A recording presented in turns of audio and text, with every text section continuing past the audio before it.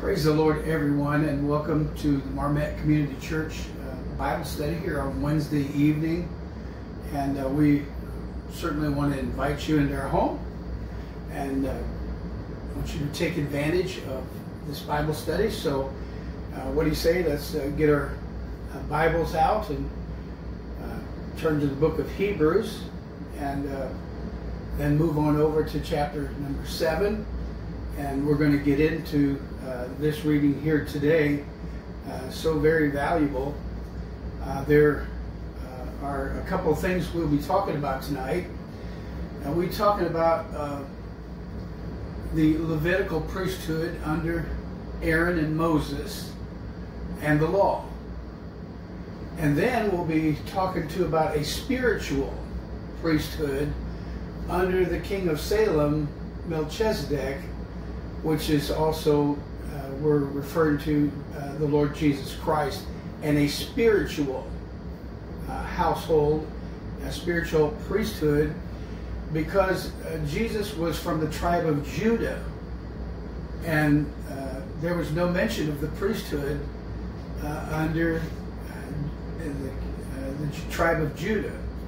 But the priesthood in the Old Testament law was under the tribe of Levi and Moses and Aaron, his brother Aaron. Aaron was the high priest, and Moses was uh, the prophet. And uh, under them, they were both from the tribe of Levi.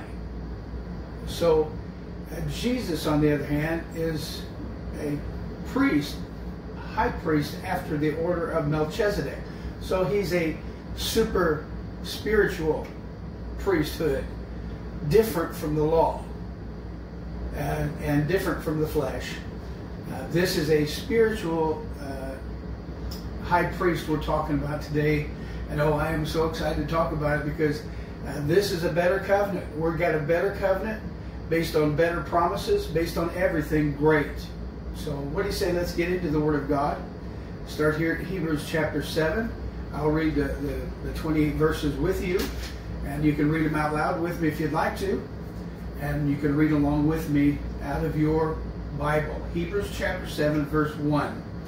For this Melchizedek, king of Salem, priest of the Most High God, who met Abraham returning from the slaughter of the kings and blessed him, to whom also Abraham gave a tenth part of all, first being by interpretation king of righteousness and after that also king of Salem, which is king of peace.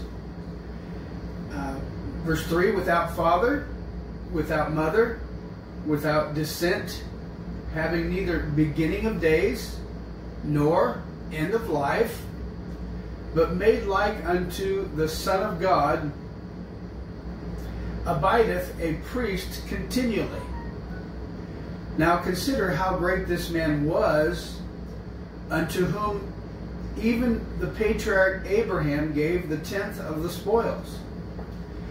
And verily, they that are of the sons of Levi, who receive the office of priesthood, have a, a commandment to take tithes of the people according to the law, that is, of their brethren though they came out of the loins of Abraham. Verse 6 But he whose descent is not counted from them received tithes of Abraham and blessed him that had the promises. And without all contradiction, the less is blessed of the better. And and here, this is verse 8, men that die receive tithes. But there he receiveth them of whom it is witnessed that he liveth. And as I may say so, Levi also, who receiveth tithes, paid tithes in Abraham, for he was yet in the loins of his father when Melchizedek met him. So uh, we're going to go to verse 11. If therefore perfection were made by Levitical priesthood, under it the people received the law, what further need was there that another priest should rise after the order of Melchizedek and not be called after the order of Aaron, which was of the tribe of Levi? Verse 12 For the priesthood being changed, there is made of necessity a change also of the law. For he of whom these things are spoken pertaineth to another tribe, of which no man gave attendance at the altar. For it is evident that our Lord sprang out of Judah, or of the tribe of Moses, and Moses spake nothing concerning the priesthood out of the, the tribe of Judah. Verse 15.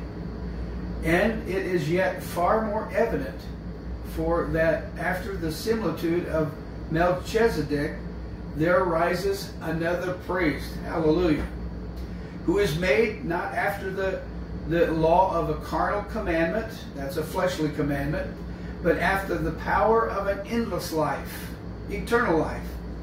For he testifieth, verse 17, Thou art a priest forever after the order of Melchizedek.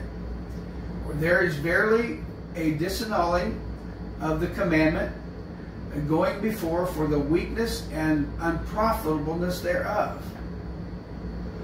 For the law made nothing perfect, but the bringing in of a new better hope did, by which we are we draw nigh to God. And inasmuch, verse 20, as not without an oath he was made priest. For those priests were made without an oath, but this with an oath by him that said unto him, The Lord swear and will not repent. Thou art a priest after the order of Melchizedek. By so much was Jesus made a surety of a better testament. And they truly were many priests, because they were not suffered to continue because by reason of death. But this man, because he continueth forever, hath had an unchangeable priesthood. Wherefore he is able also to save them to the uttermost that come to God by him, seeing he liveth ever to make intercession for them. For such an high priest became us, who is holy, harmless, undefiled, separate from sinners, and made higher than the heavens, who needeth not daily, as those priests, to offer up sacrifices first for his own sins, and then for the people's sins. For this he did once, when he was offered up himself. For the law maketh men high priests which have infirmities, or sicknesses, or weaknesses, and they certainly die. But the word of the oath, which was since the law, maketh the Son, who is consecrated for evermore. Amen. We have a better covenant. It's based on better promises. It's based on a better high priest. It's based on a, a better plan of salvation. It's based on everything is better.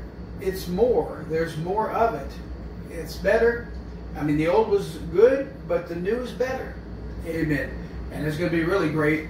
Uh, the best part is when we get to heaven to meet our wonderful Lord and Savior. All right, so we'll start off here at verse 1 as we go through uh, the teaching here tonight. We'll try to be quick so this can uh, get downloaded quickly.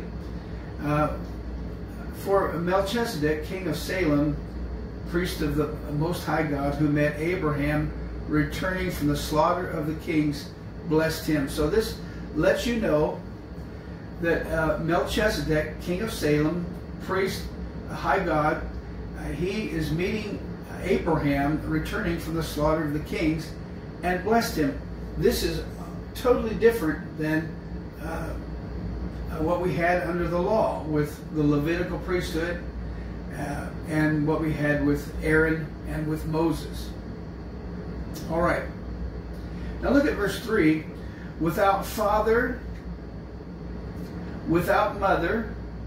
Now, the only person, uh, the only, uh, I say person, but the only uh, being that he could be talking about here is God. Because God is without father, in verse 3, is without mother, without descent, having neither beginning of days nor end of life, but made like unto the Son of God, or the flesh of God, abideth a priest continually. So a lot of uh, people think uh, uh, that uh, Mary, and, and if you hear the prayer coming from many people that claim that they are Christians, uh, they say, Holy Mary, Mother of God, pray for us sinners, now and at the hour of death. Well, God doesn't have a mother. Look at here in verse 3. Uh, without father, without mother, without descent, having neither beginning of days nor end of life. Uh, so uh, this is exciting. We're talking about God. And when you look into the New Testament and you see the word Emmanuel uh, coming out of the Old Testament, it said his name shall be called Emmanuel. Well, when you get to the New Testament and you begin to look up what Emmanuel means, it means God with us. It doesn't mean the Son of God with us. That's the with, with us part. But Emmanuel literally means, the English interpretation is God with us. So when you saw God, and you were looking right at Jesus Christ. And the Bible says that God was on the inside of Christ, reconciling the world to himself. All right, let's move on down here. Now consider how uh, great this man was unto whom even the patriarch Abraham gave the tenth of the spoils. Now, we're talking about the God man now. We're talking about Jesus Christ, our high priest.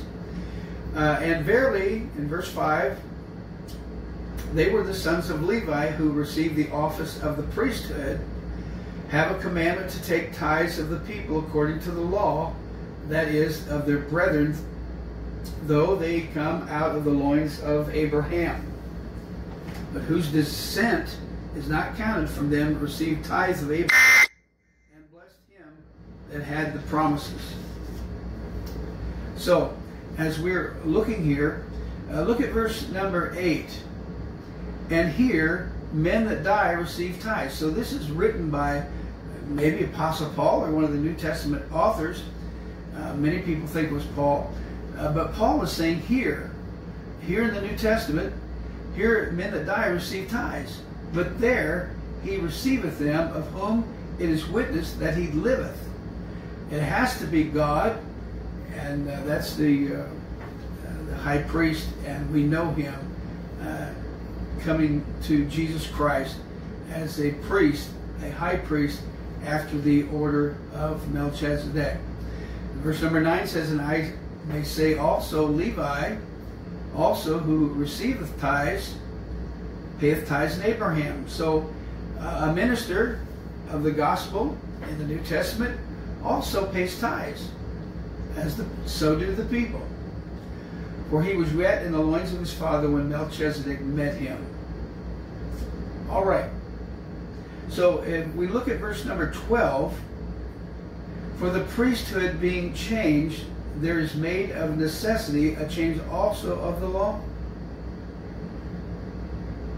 Look at verse number 14. For it is evident that our Lord sprang out of Judah, of which the tribe Moses spake nothing concerning a priesthood. And it is yet far more evident for that after the similitude of Melchizedek, there arises another priest. See, the law's gone. Uh, the Old Testament is ended. The New Testament has a new high priest. Uh, you know, and it's it's not somebody sitting on a, on a throne with a staff and a, a big fancy hat and a white robe. Uh, this is Jesus Christ. He's the high priest. There's only one high priest in Christianity, and that is the Lord Jesus Christ of Nazareth, the Holy One of Israel. He which is, he which was, who which uh, was dead, and behold, he's alive forevermore. And he has the keys to death, hell, and the grave. He's the Alpha, the Omega, the beginning and the ending. He's he which is and which was and is to come. He is the Almighty. Praise God. Hallelujah. Uh, who is made not after the law of a carnal commandment in verse 16, but after the power of an endless life. Praise God. Hallelujah. Look at verse 19. For the law made nothing perfect, but the bringing in of a better hope did. I like that word better. Well, the law was good, but the New Testament plan of salvation is better. We have a better priest and a better plan of salvation. Amen. Amen. Thank God for that which is better. Look at verse 22. We're thinking about the word better now. By so much was Jesus made a surety of a better testament. In other words, a better plan of salvation and a better uh, dispensation, a better testament, a better witness. Amen. A better plan. I'm glad for that. Amen. Uh, the old was good, but Jesus Christ is so much better. Moses was a great leader and a wonderful man and a type of Christ. He was a shadow of what Jesus would be. But he was nothing compared to what Jesus was. Amen. And Jesus is now our high priest. And so we are so thankful for that. Amen. Uh, but look at this. And verse 23 and they truly were many priests. So there's lots of priests in the Old Testament. Why? Because they were not suffered to continue by reason of death. In other words, there was lots of priests because about every 40 years one of them would die and they'd have to have another high priest. But Jesus, this man, because he continues forever, praise God, hath an unchangeable priesthood. We will never need another high priest. Amen. We don't need it. People, all kinds of preachers can die, uh, leaders of churches can die, but we'll never have another high priest.